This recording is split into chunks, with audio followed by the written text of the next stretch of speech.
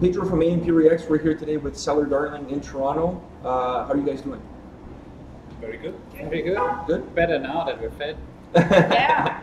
yeah, we had some some desserts. Yeah. Right. Uh, how, how was your trip to Toronto? Everything was good. Yeah. Everything was great. Yeah, it's beautiful landscape in this country, so it's, it's always a scenic drive. Yeah. So I have to ask you guys these questions. You guys had a, a, a few shows in North America, Montreal, New York, Toronto. Is the reason why you guys picked Toronto because this is the greatest city in North America? I think we should say yes. I don't know. I, I don't think he think. wants us No, that's going yes. on the internet. We can't do that. No. It definitely is among the greatest cities in North America. I, I can say that much. Yeah. Very neutral, Swiss, Yeah. politically Yeah. correct state.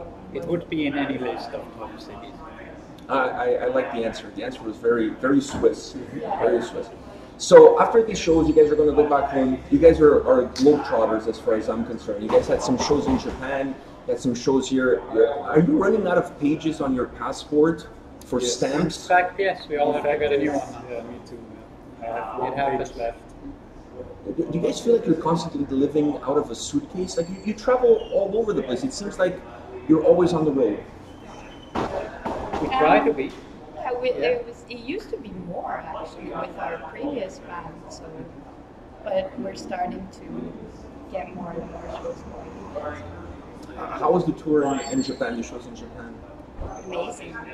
We love Japan. Now, you guys are working on a new album, and uh, it would be remiss of me not to talk about it. So, is there anything you guys can let the fans know as far as that new album is concerned? I know you guys hinted on having a title for the album and some other key components of the album. Is there anything that you guys can reveal at this point about that new record? We should agree on such stuff. Yeah, we never agree the- on things like that, but I am. I wouldn't reveal too much, just to keep some of the mystery. Um, but what you can know is that we're going to release our first single very soon from the new album. Yes. Do, do you guys have a, a set deadline, or at least a loose deadline, for when, when you guys are planning on, on releasing the record? We know exactly when we're going to release it. Yeah, but we're not telling you. Yeah. I'm trying to go around, Yeah. uh, but I, I guess it's not working. No. So, uh, one more question I have related to the album is: uh, Are you guys going to include any covers uh, on that album? Specifically, the quote, the cover that you guys have done of Queen. Would that be included in the new record? Not this year. That won't be on the record. Also, I think it's a separate single now, anyway, or digitally at least. Um, we are considering covers in the future, like this bonus tracks, but it's we can't say yet if there's going to be anything on the new album. Ha- Has this album been more difficult than the first record, or it has been uh, just another step in the evolution of the band? Well, we're still working on the album. It's not done, it's halfway through. So I would say yes, it was kind of more difficult. Differently difficult, maybe. Yeah, it's different. You know, the first album we tried to find our sound. I think we did find our sound for now, so this part is definitely easier now. But on the other hand,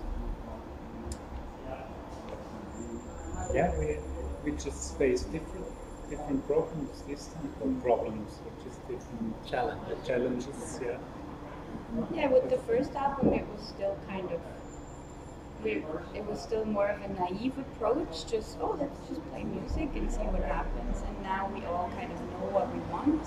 And what we want is more of everything, which is which is more difficult, I would say.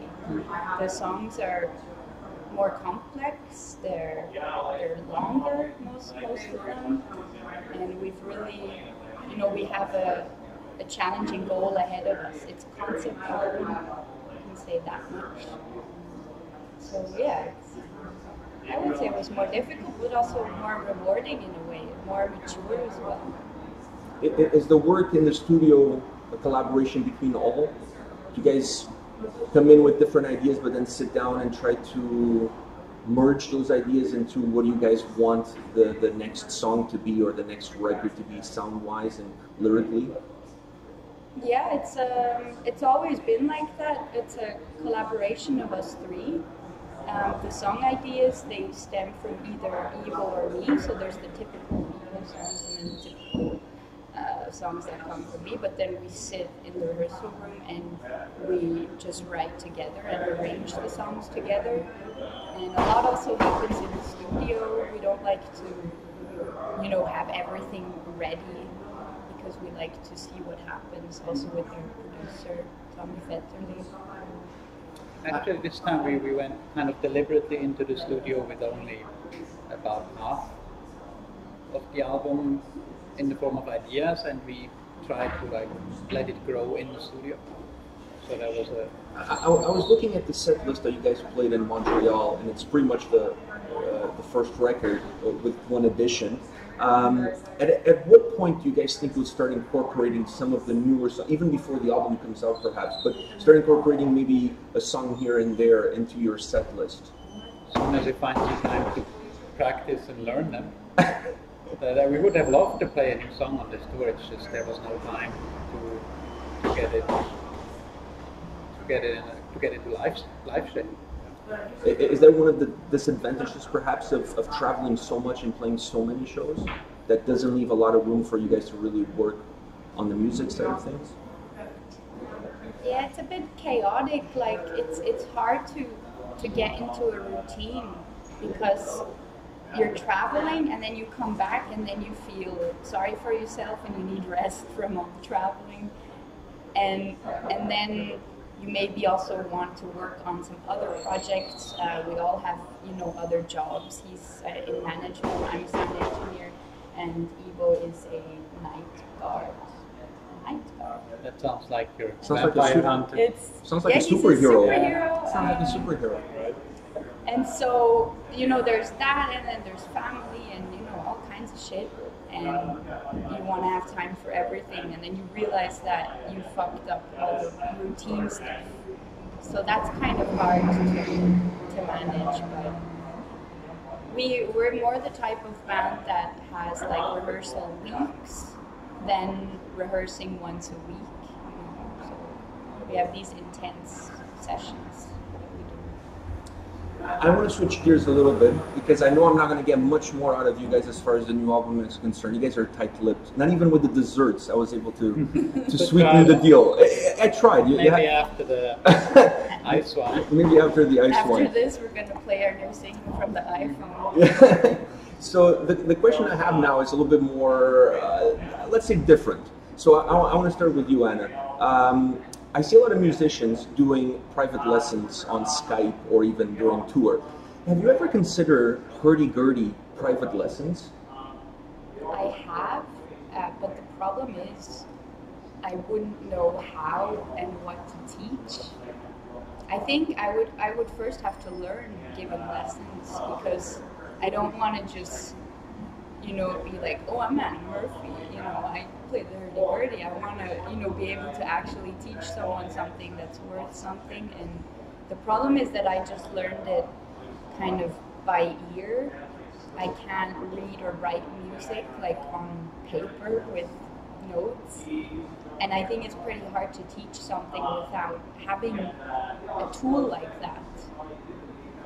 Um, because you can't expect people to be like you are and to learn things like you do. So I was kind of giving myself a, like this uh, goal that I would at some point learn some theory so that I can, you know, make some notes and, and teach people stuff. But I guess it's going to be a project for the future.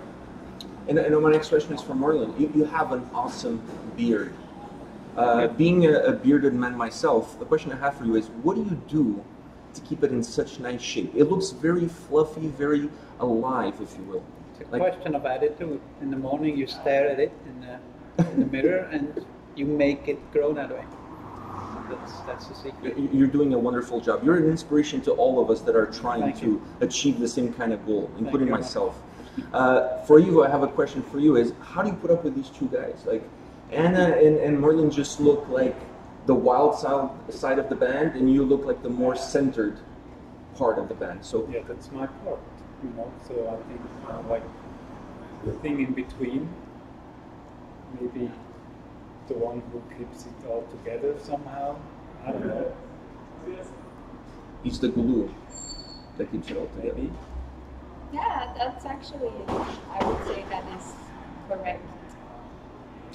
One more question. I have one more question for you guys. I don't want to take too much of your time. So my, my next question is, uh, will we see Cellar Darling in North America, perhaps doing a tour once the new record comes out? Is that something that you guys have as a goal? Yes. Absolutely. Yes, must. definitely as a goal, and unless something terrible happens, it will happen soon. Yeah. Well, thank you very much for your time today. I really appreciate it. Thank you. Thank you. And uh, I hope to see you guys here soon. Take care, guys. Absolutely. Thank, Thank you. you. Thank you.